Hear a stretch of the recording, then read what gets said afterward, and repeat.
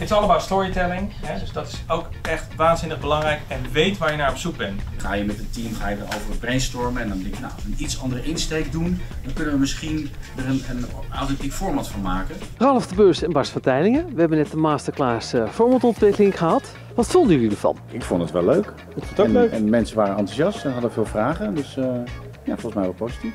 Wat ik heel tof vond om te zien is dat je vraagt je toch af, kijken die studenten sowieso nog televisie? Videoland of wat dan ook. En ze kennen al die titels. Dus alle titels waar we aan refereerden, alle voorbeelden van de formats, die waren allemaal bekend bij ze. En het, het leefde echt. En ze hadden echt de wil om zelf ook zo'n uh, format te bedenken. Dorien, een van de studenten van uh, Fontis Hogeschool uit Tilburg. Heb je vooral geleerd of, of meegenomen? Dat creativiteit en inspiratie kan overal vandaan komen. En op school wordt, worden we heel erg aange, aangestuurd op bepaalde methodes en zo. Maar dat, ja, dat gebeurt eigenlijk bij echte formatontwikkeling gebeurt dat dus niet helemaal. Ik vond het uh, heel leerzaam. Uh, hij heeft veel dingen verteld waar ik, zeg maar, waar, waarvan je wel denkt het is logisch, maar dat is niet waar ik echt over na had gedacht van tevoren. Dus uh, veel inzichten uitgekregen, dus dat is heel fijn.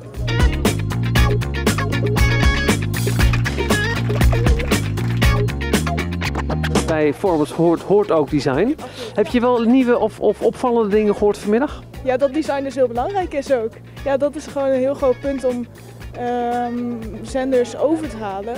Want een format kan heel goed zijn natuurlijk. Maar Half zei ook al van ja, je kunt met een Word-documentje aankomen, maar dat is nee. minder interessant. En natuurlijk is het format gewoon, speelt een hele grote rol. Maar design natuurlijk ook. En zijn er nog trends of ontwikkelingen waar wij uh, nu als kijker gewoon uh, mee geconfronteerd gaan worden? Wat kunnen jullie ons wijzer maken? Ik denk dat de nieuwe trend op dit moment nog bedacht moet worden. Die is nog niet, uh, die is nog niet daar.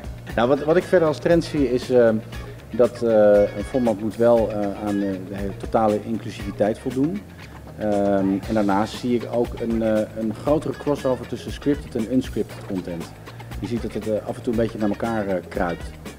Zo'n zo format als Hunted into the Wild bijvoorbeeld, weet je wel, dat, dat zou zomaar een soort van James Bond-achtige vibe kunnen hebben.